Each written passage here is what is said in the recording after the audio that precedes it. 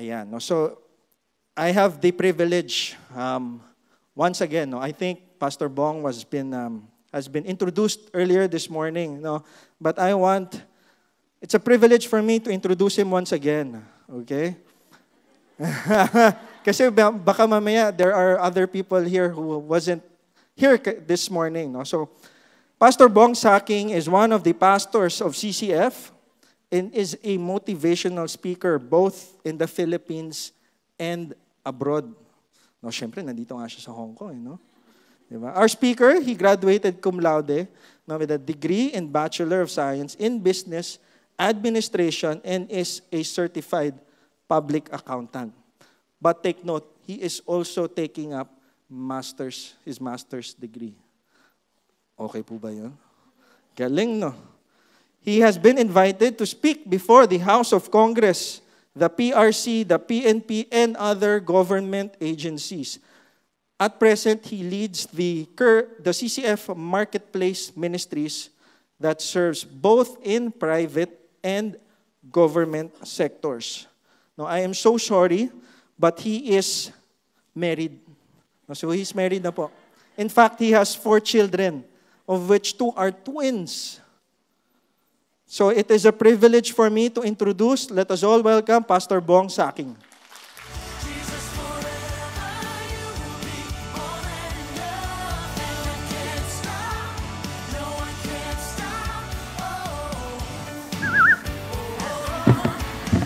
Good afternoon, everyone. Praise God. Uh, have you enjoyed your lunch? Were you able to receive the lunch packs given earlier?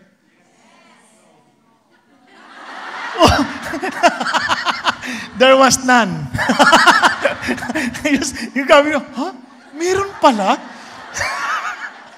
no, it was, nagtaka ako yung mga mukha nila, parang, merong lunch, ay, saan yun? Saan yun? Di ba? Wala po. Nagjo-joke lang po ako. tinitingnan ko lang, tinitingnan ko lang po yung reaction ninyo. Now, may I know also who anyone from in this room who does not understand Filipino? Is there anyone?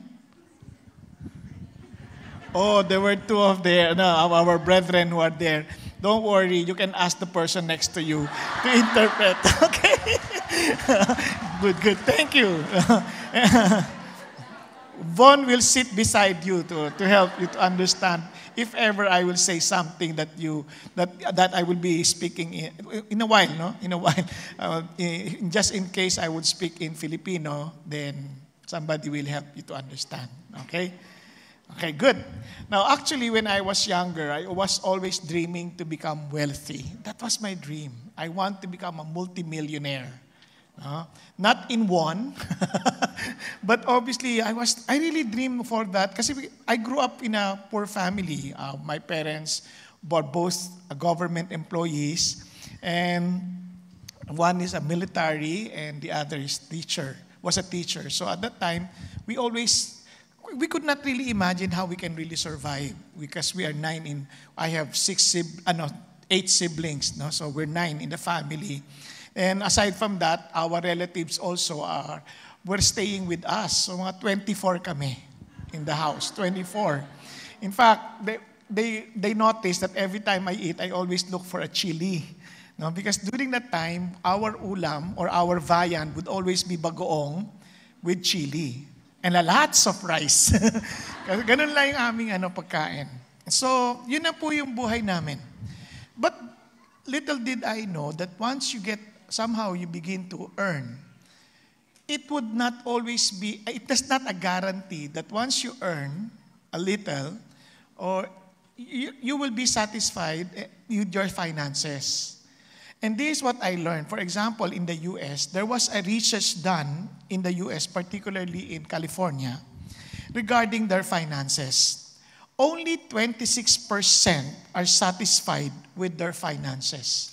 26%. Very small percentage. 74% of the people who live in California are not satisfied in their finances. And it seems that no matter how much they make, it will never be enough. Never seems to be enough. Gallup released a poll that was that said 64% of all couples argue over money. Oh, di ba? Marami nag-aaway tungkol sa pera. It is a major issue of concern in marriages, that is finances. In fact, they discovered that is the number one cause of divorce. Pera. 54%, 54% of marriages divorce over money. It's almost as if the vows have been changed till death, till death do us part. Pag nabaon na sa utang. Ano? So J.C. Ryle said this. Sabi niya, two-thirds of the strifes, quarrels, and lawsuits in the world arise from one simple cause, money. Now, how many of you uh, know someone who has that kind of problem? They always argue about the issue of money. Di? Talagang many people are having that kind of problems. Many of them are friends and they became enemies because of money. No, they were once best of friends. Not until um, a money became an issue. Diba? Somebody, your best friend, did not pay your did not pay his debt. Diba? So you got angry. So the entire life, talagang there's a great tension about money. Many people lived under stress about this issue. So I'd like to just remind you this. The Bible tells us that it is vain for you to rise up early and to retire late because many of us here are very stressed, working so hard just to earn. And the Bible is saying to eat the bread of painful labors.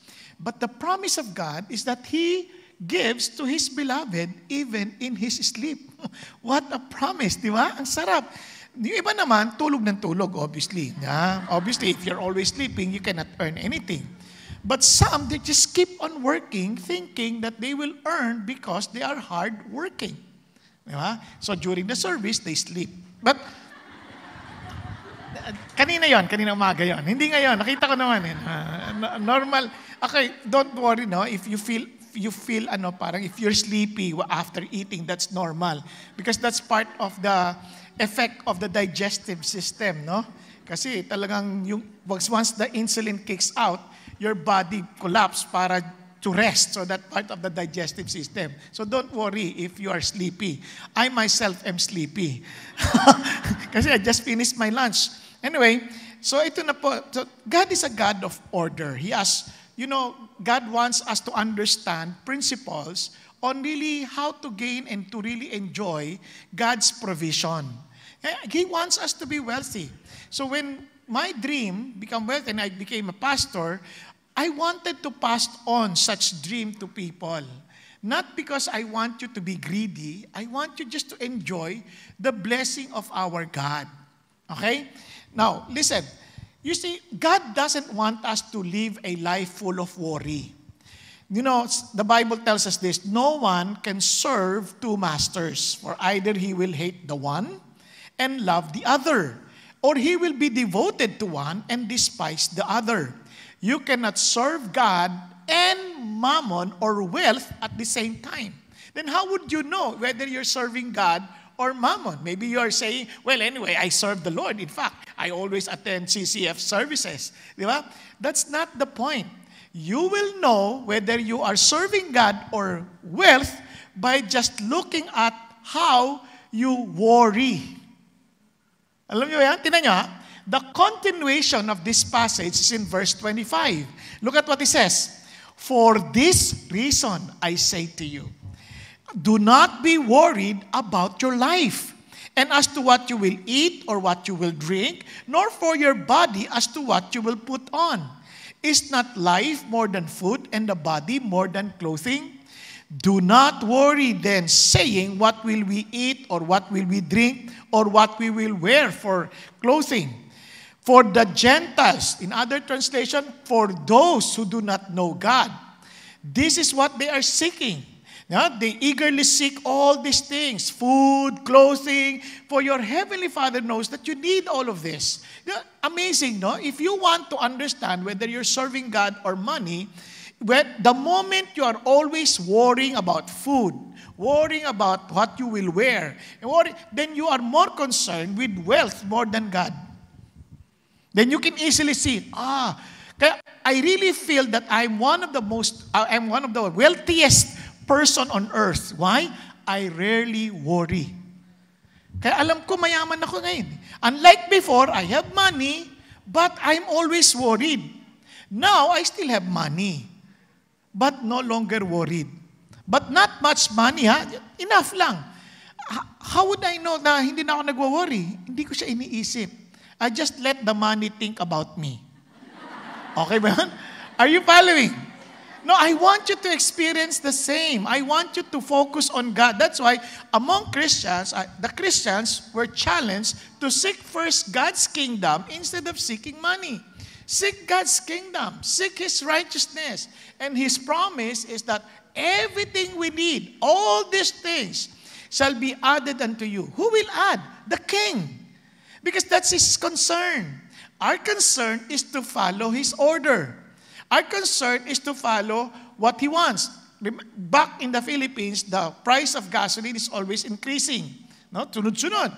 And the common question that they, I used to hear is whenever somebody would ride with me and say, Aren't you worried about gasoline?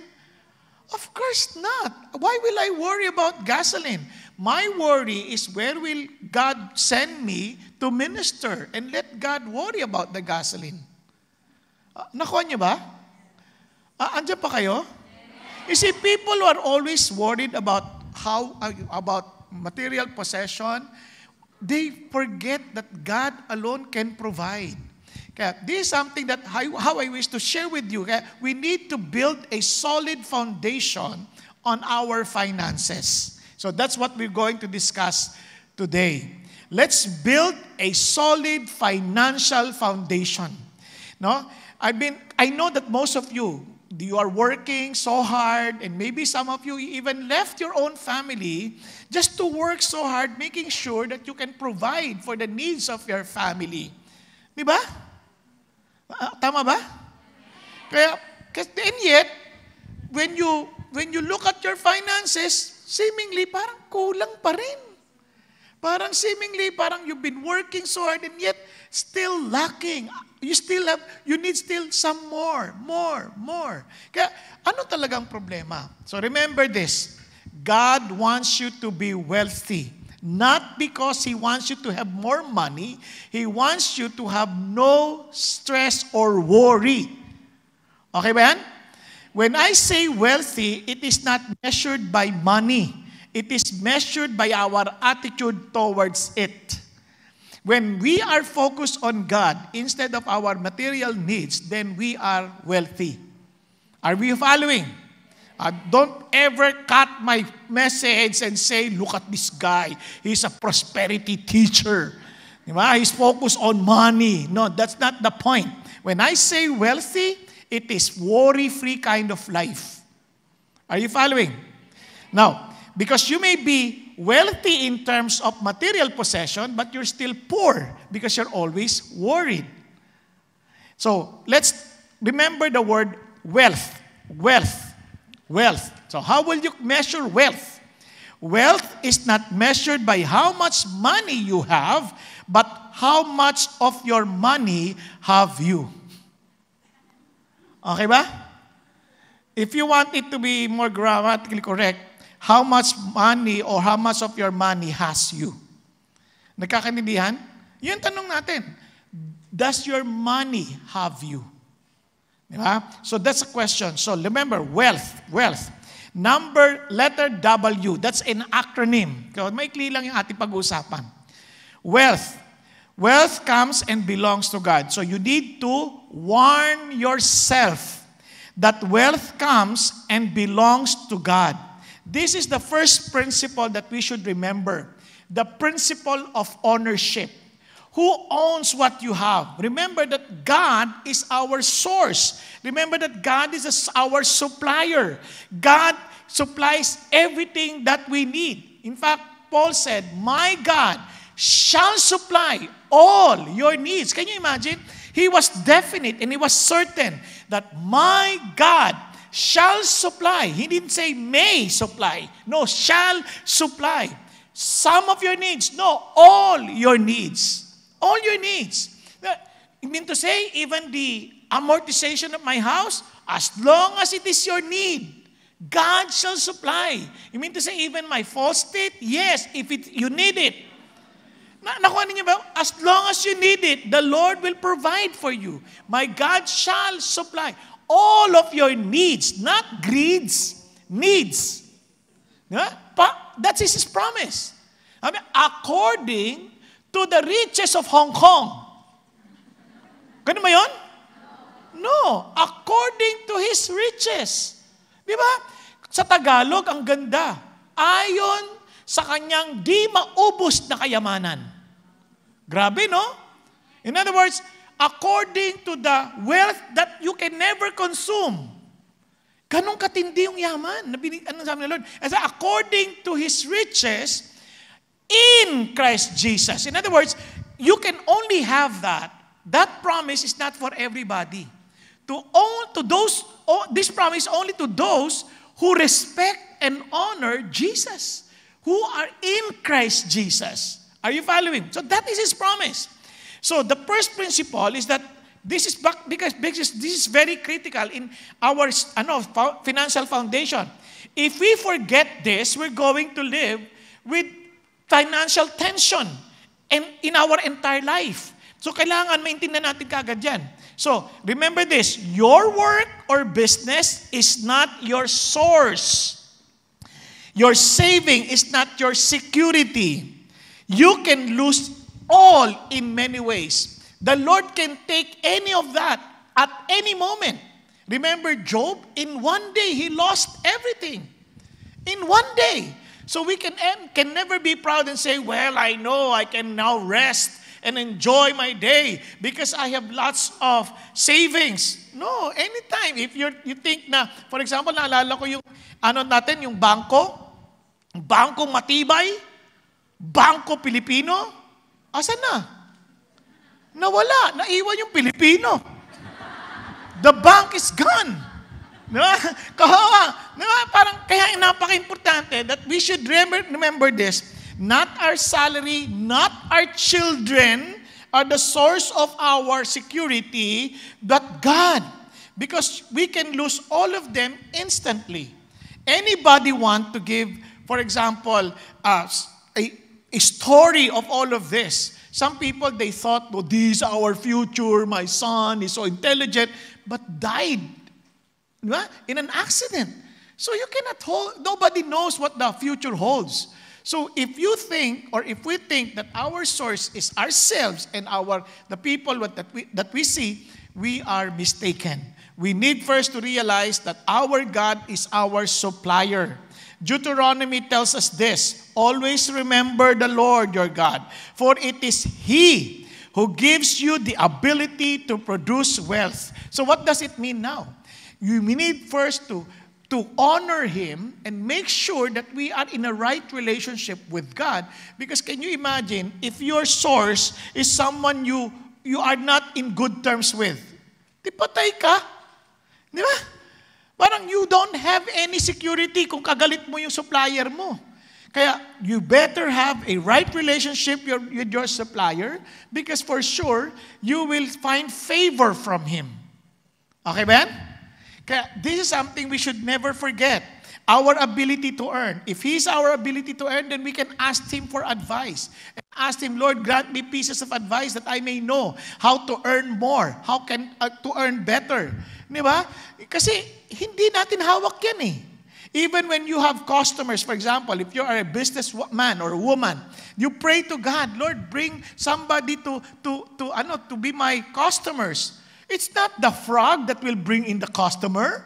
Di ba? Misa, krak-krak, gaganon pa eh. Yung iba naman, kailangan pa ng ganon. Para people will come.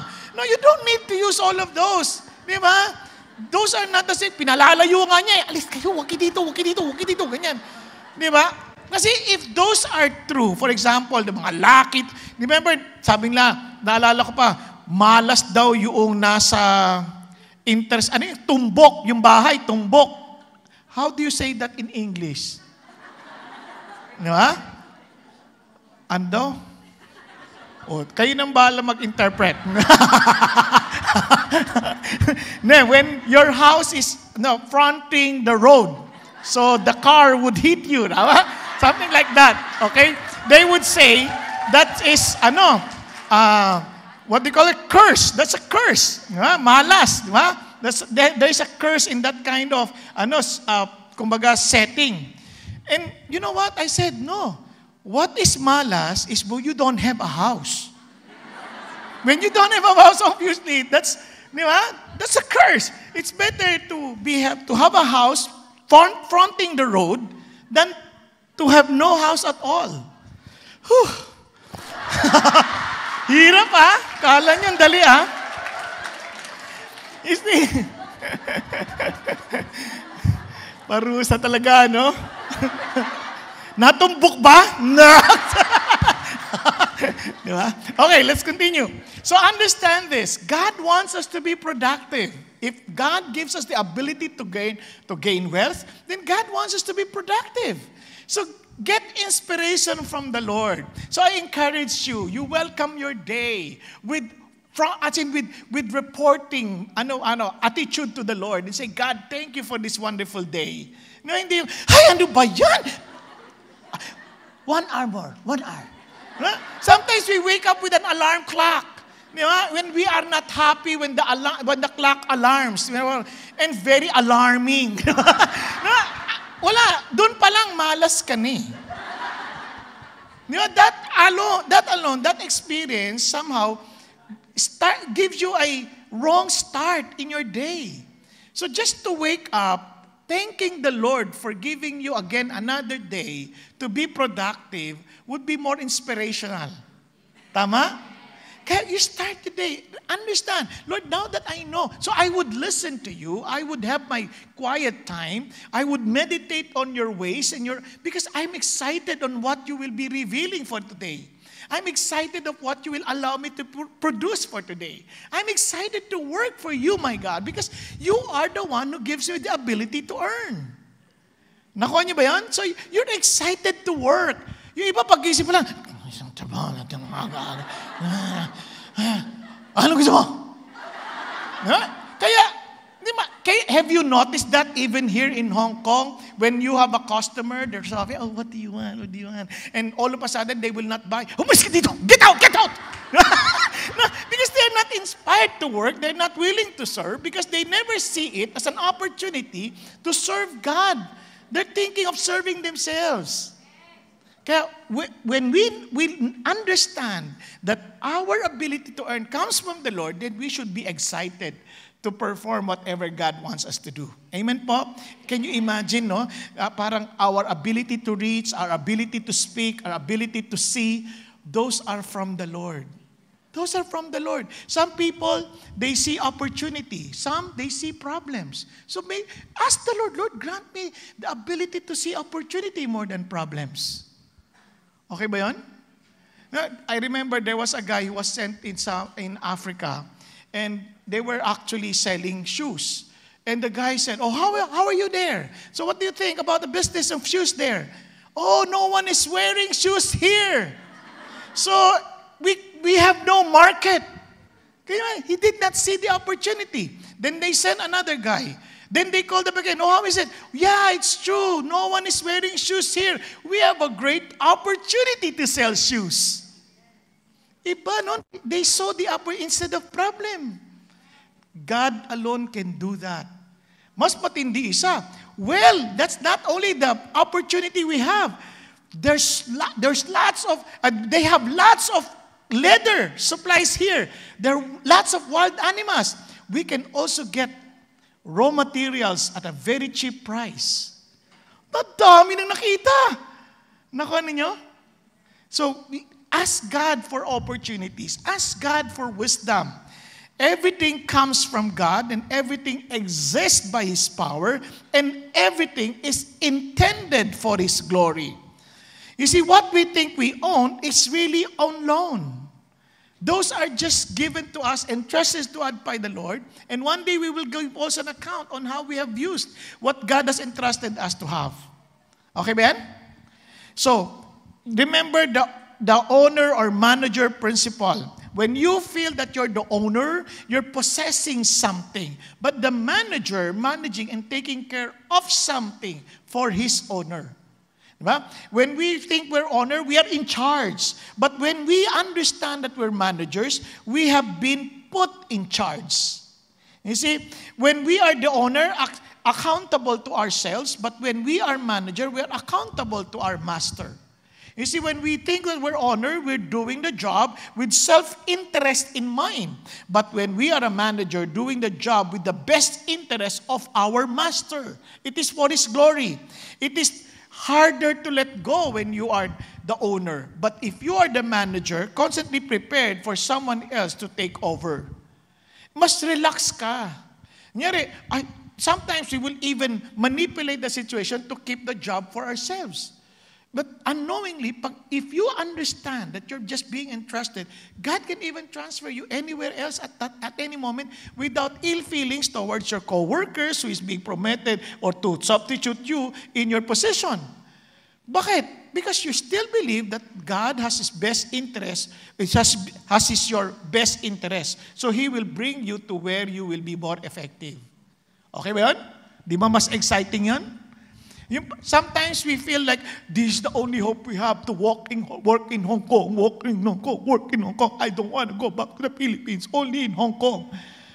What if God tells you, no, go, go back to, to the Philippines? Lord, ayoko, talaga, ayoko talaga. No, uh, without you knowing that when you get back to the Philippines, you will as, as you dig your own house to, to build your own house, you, you all of a sudden discover there's a uh, a well of oil under your soil. O, di ba? O, di ba? Only God understands. Kaya, just follow the Lord's leading. Remember, He owns you instead of owning yourself. The word is this, money does not corrupt everybody. But the love of money corrupts anybody. Okay ba yan? You see, for the love of money, money is not a problem. It is the love of money. For the love of money is the root of all sorts of evil. If you think money is the root of all evil, give them to me. Okay? It is not the money, it is the love of money. Okay? So all, some by longing for it have wandered away from the faith and pierced themselves with many griefs. Many could not attend services. They cannot attend, for example, D group. All because of work, work, work, work. As if the work depends on them. I'm not saying that you will be absent in your work or to be irresponsible in your work. So sometimes, given a chance, talking to some, just imagine this. If let's say you are working and you're, you have a business transaction of about a million, a million transaction deal, uh, a million deal, and you will meet him in the church, will you come and worship? Of course. Not because of the Lord, but because of the deal. Tama ba? Or if what, if what if I tell you that every time you come here, I'll give you 1,000 Hong Kong dollar? I believe every Sunday you will be present. Di ba? So what does it mean? You worship money more than God. Kaya when the children are asked to do the assignment in their, in their school, secular classes, and compared to the assignment given by the Sunday school teacher, obviously they will prioritize the, the assignment in the school. No, walang grade dyan sa Sunday school. You better focus on your assignment in school. But the problem is this, what are you teaching your children? Di ba? Materialism. So remember, warn yourself that everything we have is not our own. They belong to Jesus. Letter E, exalt God with your wealth. The primary calling, obviously, the law of honoring God first. Exalt God with your wealth. Since it is His, our first attitude was always be to put God as our priority in terms of our budgeting, in, in terms of the use of our money. Hindi, ano ba number dito? Amazon? Sa Pilipinas, Shopee. Ang Lazada. Di ba? Ha? Taupao? Taupao? O patay? Taupao? Di ba? Hindi, sa totoo lang. most of the time, we forget about our money, that the money belongs to God because of tao-pao. And sa Pilipinas, na, nagse-service, maririnig mo, you will hear people, Shopee! During the service, Shopee! Grabe, dito walang ganon, no? Wala naman tao-pao. Tapaw! during the, ano, imagine, during the D-group meeting, Shopee! Ako, may announcement pa eh. And every, and sometimes we spend so much with Shopee or Taobao without even considering whether this, is this really pleasing to the Lord or not. Di ba? Like, that's the greatest challenge. You see, we have talked about this, you know, maybe you have heard of this many times in the past, that what God wants us to understand is this. We are to honor Him from our wealth and from the first of all our products. So our barns, look at the promise, so that our barns will be filled with plenty and your vats will overflow with new wine. What does this proverb is saying? What, what, what is he trying to say? Here is the promise. He will provide, He will fill our barns, as in, will, with overflowing supply, but we need first to trust God for our wealth. So the first part of our wealth, first part, ha? in other words, before you spend about anything, about spending your money to anything, you first think of honoring God. Yun ang una kagad.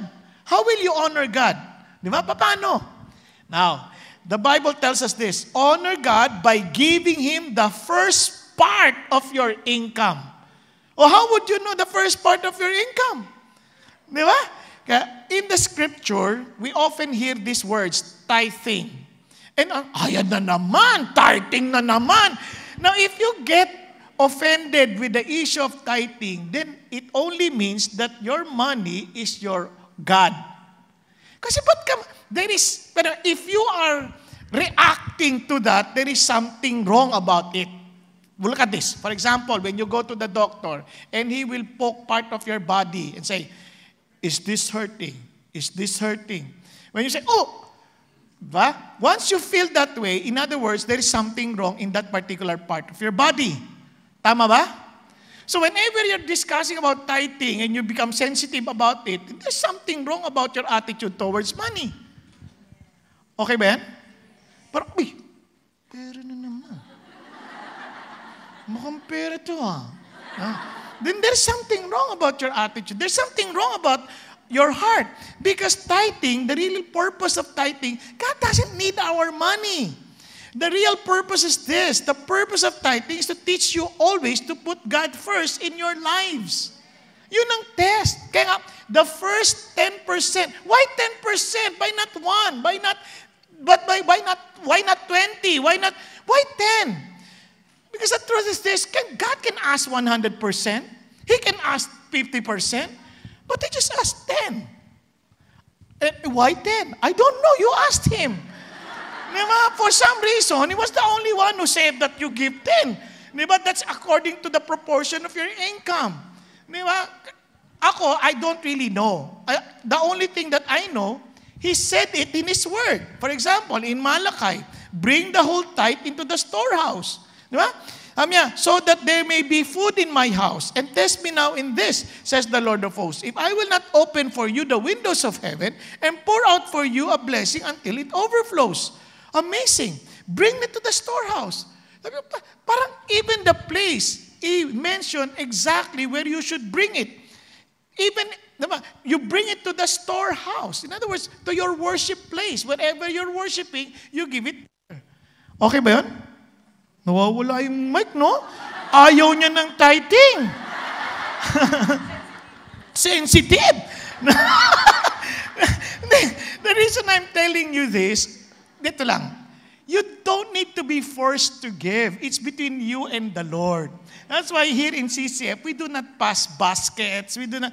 It's up to you. I, we'll just teach you the principle. If you don't give, it's okay. It's between you and God.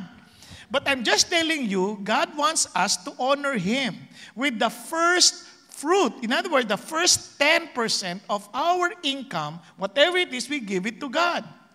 And alam niyo, in the New Testament, there were no more tithing. It's all things. Ha? Mas malala! yes, of course. Remember in Acts, they were giving everything they had. But it was not compulsory, ha? Kasi na, sabi nga, remember si Ananias and Sapphira? Sapphira had a problem with Pira, remember? See, they were claiming that they had given everything, but the, truth is they were just giving a portion. And Peter said, you, you're still honest. You don't need to give everything. You just need to be honest. Why are you lying against the Holy Spirit? So, what God is saying, I'm not requiring you to give everything, but your attitude should always be everything is yours. So, if I tell you to give a portion, like a 10%, why will you complain? I'll take care of you. It's just a matter of understanding whom you trust your money or God. Di ba? Ever since, since I came to know the Lord, the Lord never failed providing for us. I trusted God for everything. In fact, I give more than 10. I'm not telling you this, Pastor. Wow. No, it was just a discipline that as I was growing, the Lord is increasing also my giving. And I praise God for that. And I would experience a lot of miracles in my life because God is true to His words. He honors Him, He will also honor. I experienced one time, I, was, I went to the U.S. and God inspired me to attend a certain seminar. Can you imagine?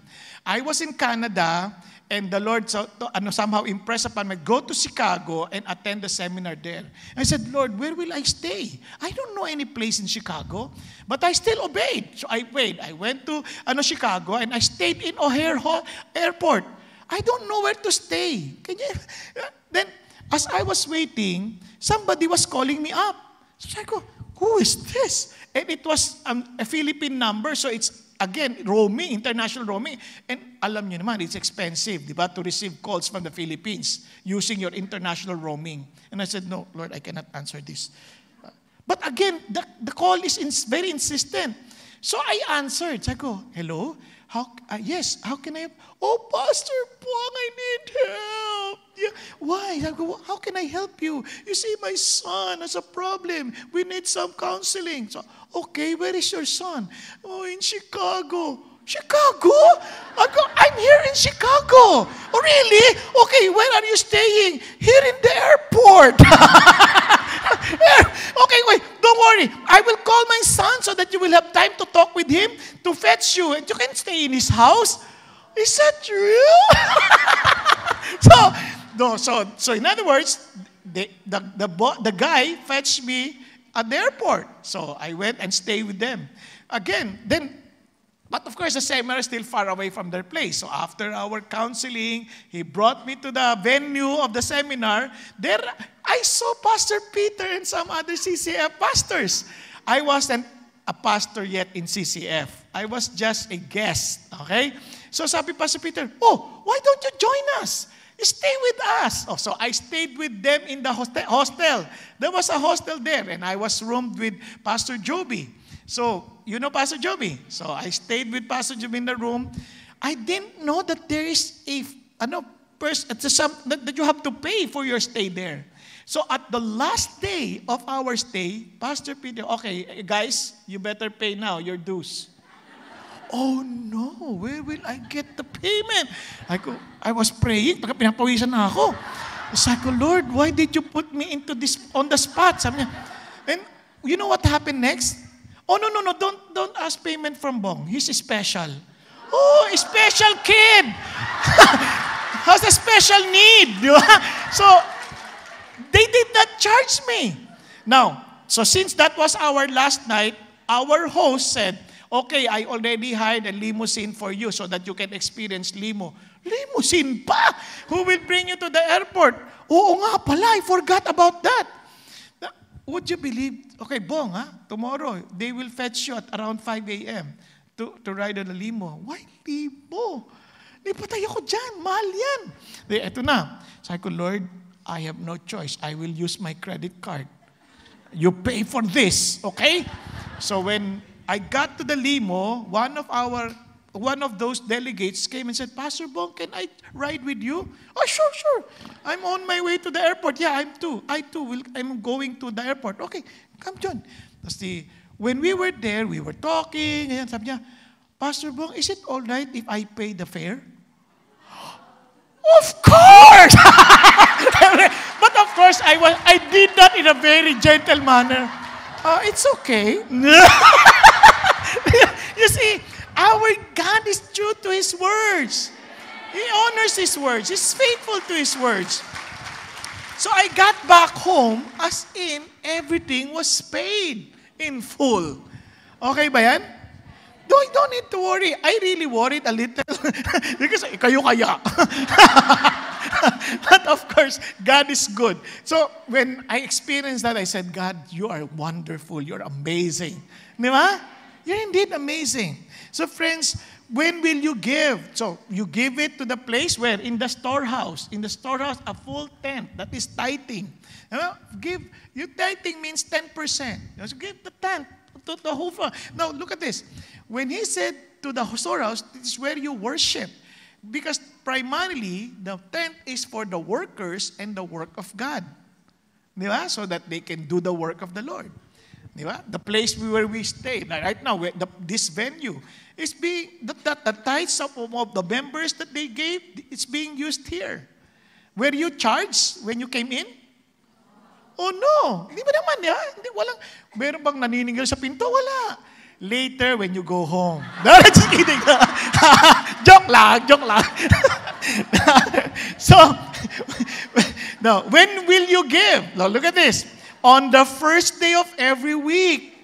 God is giving us a very clear instruction. Put aside some of what you have earned during the week and use it for the offering. The amount depends on how much the Lord has helped you earn. Obviously, 10% is proportionate, di ba? If you earn more, it's still 10%. If you earn less, still 10%. It's still proportionate according to your income.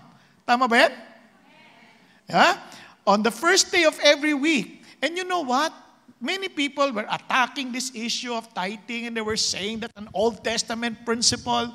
But you know, surprisingly, in history, those people whom, who obeyed the Lord in this without even trying to analyze or to be logical or to be doctrinally, as in ano, parang strict about the issue, they were blessed. For example, there was a young boy who ride on a certain boat because he went to the U.S. to, to find a greener pasture. And this boy who happened to be an orphan, and the ship captain said, You know, I'll just give you a piece of advice. Remember this whatever you earn, you will be great in producing soap, producing anything that will for, for cleaning. I mean, but one thing you should never forget every time you earn something, just give 10% to the Lord. And you know what happened? God blessed that guy.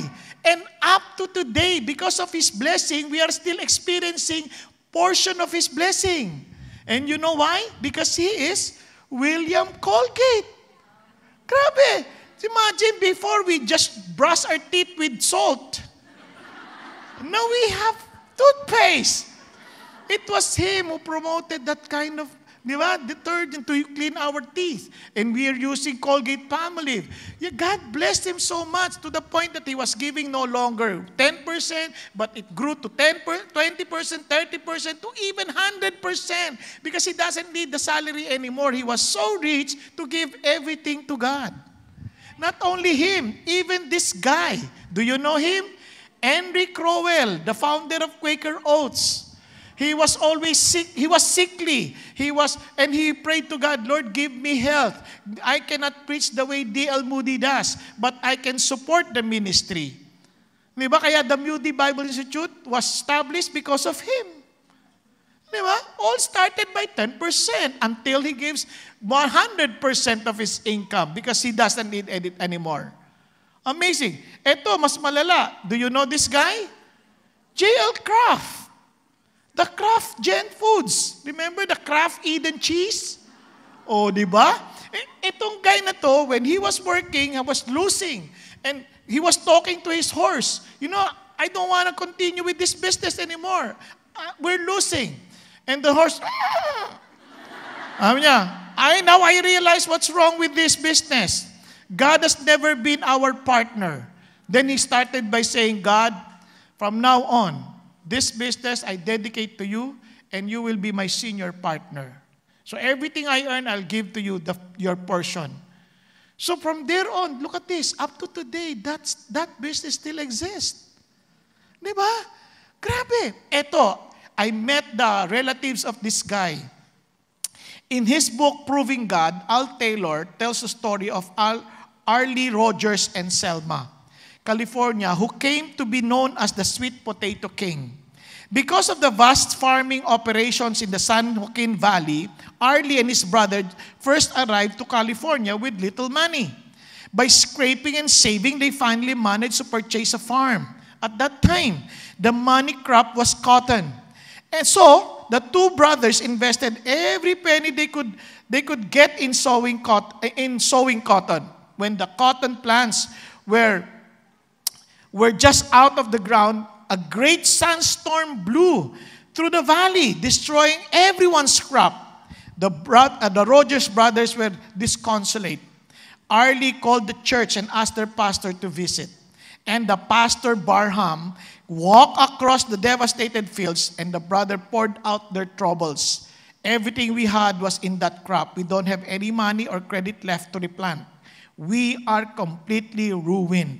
Now we will lose everything. Yun ang sinasabi niya.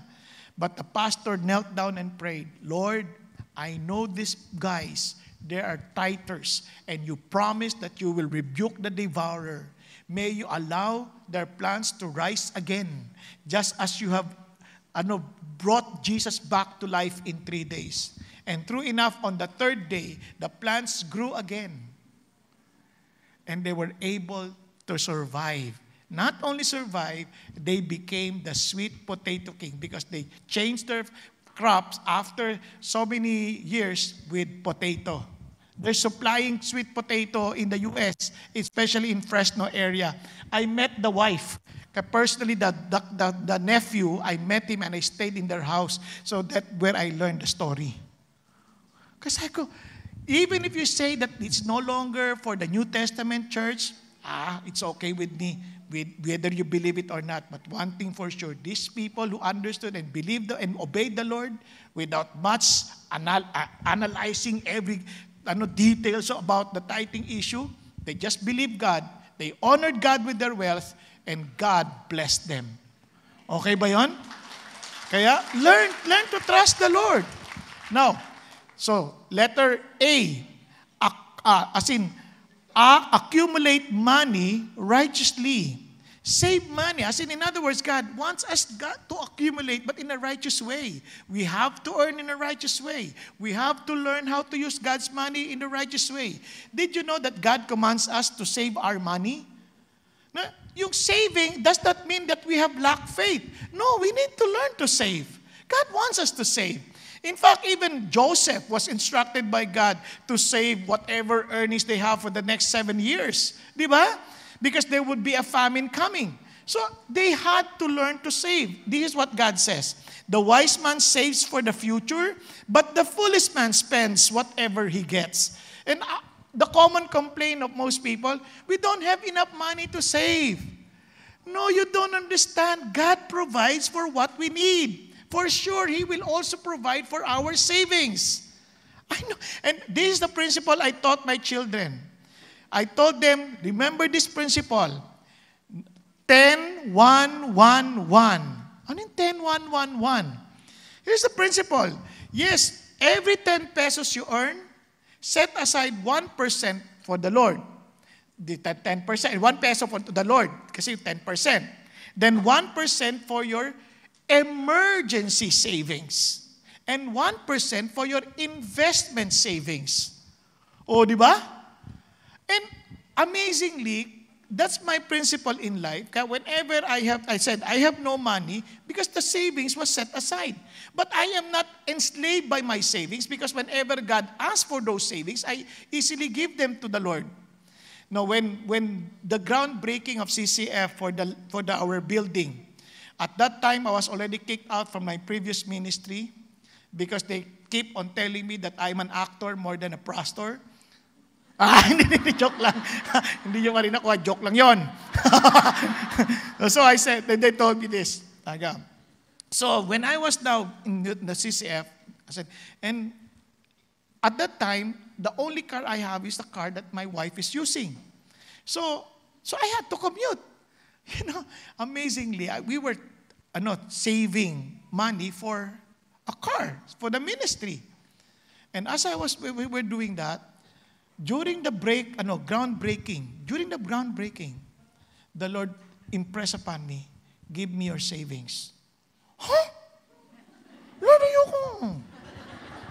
Every time we have to start a, a building project, once the building is done, we get we have problems as in division one church to another we're always having church split and i had been to several churches in the past now here again building project it's ayoko na i don't want to get involved with that anymore but somehow god was telling me look at this so when i look at pastor peter and i saw jim welchel on the other side and there was a rainbow yeah, then I look at the right, at the left side of my, on my, on my left side, I saw Avalon Zoo. It was like a Noah's Ark. So I go, wow, here is Pastor Peter Chinese, and here is Jim Welchel American, as in East meets West. In a new beginning, there was a rainbow. And here is the Avalon Zoo, the Noah's Ark. And God was saying, this is a new beginning. Forget about the pain of the past. Okay, Lord. One condition. If I call my wife, and oftentimes whenever God challenges us to give our savings, and I will tell my wife, he will, she would always respond by saying, Why? No, sa Tagalog, bakit? Di ba? Kasi, he asked savings, yung savings namin for the house, he asked from, for it. Yung kotse namin, he asked for it, then we gave. Laging, bakit? Bakit? Ganyan. This time said, okay Lord, if my wife tells me, bakit, it's not your will. Oh, di ba? Simple lang. So I called up my wife. Sabi ko, sweetheart, remember the money we're saving for the car? Yes, anya. Please bring it to the office on CCF and we will give it to the building fund. Okay, what time? why are, why is he not asking bucket? No, I'm the one asking why. Why is he not asking why? so, to make the long story short, she brought the money and I gave it to the accounting. Then it so happened that I was in the office of CCF, as in chit-chatting with my D group leader, Pastor Erwin, who is seated in front of Pastor Peter's office. So Pastor Peter came out and said, Hi, Bong, how are you? I'm good, sir. How did you come here? Why are you asking? Why did you come here? How did you come here? Well, uh, I commute, sir. Why? Don't you have a car? Oh, I have one. My wife is using it. Oh, it's not easy to have no car if you don't have car to minister. Okay, he called the administrator. You know, he didn't even remember this anymore when I shared the story. He just called the administrator and said, Hey, you, Edwin, you buy him a car to be used in the ministry. Go, oh, grabe naman. And alam nyo, they, they, they, they asked me, oh, what kind of car do you want? These are actually the options. Okay, okay. Uh, okay for the black one. and so I promised God for the plans that I have for the amortization until the building is done, I will give that monthly. Can you imagine? God provided it in a very different way. But I trusted Him for it. You know, I'm saying, you save not for not to become, you know, greedy, you say because it is necessary. Okay? Okay ba? No, I still have other points. Layo pa niyan. Sabi niya, 10 more points daw. Jika lang. Kaya, remember this, develop your business first before building your house. Yeah, ang galing na sabi ng Lord. Before you build the house, it's very practical. Develop first your business. In other words, your ability to, to keep the house, to maintain the house, earn first. It's like also saying before you get married, make sure that you have enough to establish your family. Diba? God is very practical. He will not tell you to do something that you cannot maintain. Kaya winning a lottery and buying a house with that winning does not make you any guarantee that you will be able to maintain the house. Kaya many, after buying, they could not maintain it anymore, then they will get poor again. Di ba? So learn to Invest what you have. This is from the Bible. In several different places because you don't know what disasters might happen. Money that comes easily, easily disappears. Di ba? Sabi niya, disappears quickly. But money that is gathered little by little will grow. Okay? Are you following? So God is teaching us, use your money wisely. There's nothing wrong to invest, but don't just invest for money, for quick, ano, ano, ano, quick, get rich weekly, ano, get rich, ah, ganun, ganun yun. Quick, get, quick rich, ano, scheme. Di ba? Parang get, ano, as in you want to get rich fast. Don't enter into that kind. In, in other words, ito yun, no? whenever somebody offers you that if you invest, you will earn 10% on a monthly basis, don't trust that guy. That's a scammer. Nakuha ninyo? Huwag kayo mahulog sa ganun. Okay? Relax lang kayo. Little by little is better. Okay po? Good. Now, letter L, lay out your spending plan. So, plan your spending. You see, we must plan our spending. We should save our money faithfully. We should honor God first. We keep good records. Then plan your spending. Don't just keep on spending. This is a principle of budgeting. Diba? Sabi ng Bible, plan carefully and you will have plenty. If you act too quickly, you'll never have enough. Diba? Those who are impulse buyer, that's not a good practice. Kaya when they were telling me, okay, you go shopping. Trust me, we don't go shopping. But hindi kami ganyan. Parang that's not our priority. When we go to different countries, our priority is not to go and shop. In fact, whenever I shop, for example, in Japan, I would always go to the second, ano, second-hand store. Bakit? Kasi doon mura. Ah, nakuha nyo? Hindi masama yun. Second-hand store as long as it's working. Okay ba tayo dyan? Okay, good. Now, live on a budget. Learn to live, but this is the point. Don't, ano, don't live or don't buy beyond your means. Not even within your means. Always below your means. Bakit? Kasi kung ano yan, within your means, break even. Below your means, you will have savings. Okay ba? Nagkakaintindihan tayo? Oh, good. Then, of course, learn to live on a budget. One, one is living, not just planning a budget, but living it. You have to live within the budget. Minsan they make a budget, but they ignore it after a while, after having those budget. No, you live within that budget. Okay? Kaya plan carefully, and you will what? Have plenty. If you act too quickly, you'll never have enough. Now, good planning and hard work lead to what? Prosperity, but hasty shortcuts lead to poverty. Kaya when you get home, iba sa atin, we don't want to get vacation na at in the Philippines because we're thinking we'll be spending much.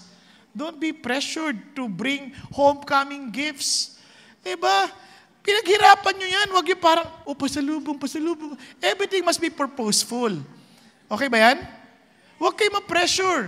Doon, I get pressured to get pasalubong for all those ano, Filipinos waiting for you as if they're excited for your coming. No, they're just excited for your gift. Wag, relax ka lang. Uh, pagdating lang, Uy, kamusta? I miss you. Ay, subukan mo, walang padala. Next time, they will not go to the airport anymore. o at least, no more pressure. Di ba? So setting up, then if you, ano, if you, ano, if you loan something, always set up a repayment pay. Never run away from your obligation. Sabi, kasi the Bible is saying, do not withhold good from those to whom it is due when it is your power to do it. Let no debt remain outstanding. Remember, the wicked borrows and they never pay. Okay po? Christians, oh, oh no, we don't steal, but we don't return what we borrowed. Oh, mag- masama yon, ayaw ni Lord yon. And finally, make a will. You see, we also pray that somehow we can leave something to uh, the next generation. A good man leaves an inheritance to his children. Di ba? And the wealth of the sinner is stored up for the righteous. Okay ba yan? Kaya, okay, so learn to track your cash flow. Keep good records. Ang tawag dito, the law or the principle of accounting. Track your cash flow. Ano yung mga cash flow? How much you earn? How much you spend? Di ba? How much you save? You Track your cash flow. Understand where it's going. Di ba? Where, where it's coming, where it's going. You have to track all of those. Until we learn to do this, we're never going to worry about our needs. Okay? Yung debit credit, yan. Importante yan. But if you don't understand debit credit, no problem. As long you have money to come and you spend it properly. Okay po? Now, good planning and hard work lead to prosperity, as I said. Riches can disappear fast. So watch your business interests closely. Know the state of your flocks and herds. During that time, their primary primary business is agriculture. So that's the how they measure their wealth. So you need to know where your money is going and where your money is coming. You need to track those ano flows. Okay ba yan? Para alam mo, parang hindi ka nabibigla. Kaya your money can be gone in a flash at it has grown wings and flown away like an eagle. Maybe to some of you, you already experienced this. Upon receiving your salary, biglang, oh, four gives, five gives. Parang, oh, lahat, everybody flew, everything flew. Di ba? Parang as if it was gone in a wind. Do, di ba? Kaya be careful. And finally, finally, have a godly celebration. You know, God wants us also to enjoy our money. Some people, they're no longer eating their lunch to save money for their hospitalization. no, crazy, no? Parang no, enjoy your enjoy God's blessing. There's nothing wrong to enjoy God's blessing once in a while, 'di ba? Enjoy. Kaya plan carefully and you will have plenty. Look at this. Diba? Furthermore, as for every man to whom God has given riches and wealth, He has also empowered him, look at the words, to eat from them and to receive his reward and rejoice in his labor. This is the gift of God. Hindi naman parang kain ka peanut butter na lang. Why? I'm saving. Hindi, the moment God prospers you, once in a while you celebrate. I'll give you a principle. Here's what you do. Most of most people they do this. They spend it, then worry about it, then repay it, save it, and give it. This time you reverse it. First you dedicate it to the Lord. Lord, this money is yours. Then you tithe it. Yun ang first. Then you save it. The at least naka-set aside na. If it's already been set aside, let's say with the remaining 80% or 70% of your income, you then use to repay it. Then enjoy it. Don't reverse the process. Yung iba nag-enjoy agad eh. Di ba? Pagkatapos sa enjoyment, wala na. kawawa. Kawawa. Di ba? Kaya we need to learn to put God first. Now listen to this. Look at this. The, the reason why I'm sharing this with you, this is not an easy thing to do unless you really recognize that God is your God and not money. Unless God is really the, our master, we can never do this. It's not that simple. Because sometimes we are too much focused on what we can get, so we are no longer enjoying it. Sometimes we just too much focus on our pleasure, so we spend all of it. But when we focus our eyes on God, we would be relaxed knowing that He is our provider. Amen? So shall we just bow down our heads and close our eyes? Friends, is God really your master? The Bible says you cannot serve God and wealth at the same time. You can just choose one. You can only serve one. Either you will love one and hate the other, or we cannot do it both. Either you will love God and hate wealth, or you will hate God and love wealth. And how would you know? Are you always worried? Are you always stressed in accumulating money? Friends, if you have not found real peace and comfort from the fact that God is your God and He is your provider and He is your Father, I pray that today, before we end, I pray that may you be reconciled with God. Jesus Christ died for you. He wants you to be reconciled with His Father. He wants you to be His friend. He wants you to be given the right to become His child. If you are not sure about your relationship with God, God is asking you now, I know that you're tired. Come and I will give you rest. Learn from me, for I am humble and meek. And friend, if God is speaking to you, please be humble enough to raise your hand to God and say, God, Lord, I accept your offer to be your child. I believe in you. Thank you for dying the cross for me, and thank you for giving me the opportunity to be reconciled with you. Lord, I give my life to you now. Friends, if that if God's speaking to you, just raise your hand to the Lord. Yes, thank you, Lord. Thank you, Jesus. Yes, be humble. Yes, hallelujah. Thank you, Lord. Father God, thank you, Lord, for these hands raised. For those who raise their hands, you say, Lord, forgive me for trusting myself more than trusting you. Forgive me for trying my best, Father God, to gain wealth on this world instead of trusting you. Father God, for my provision, that in that I can experience the real wealth that comes from you. So, Lord Jesus, take control of my life. Thank you, Lord, for your forgiveness. Thank you for your love. Thank you, Lord Jesus, for your promises, for they're indeed true and faithful. Thank you, Lord. Father in heaven, I pray for everyone in this room, every family we represent. I pray, Lord Jesus, that we will always be, Lord, faithful to obey you.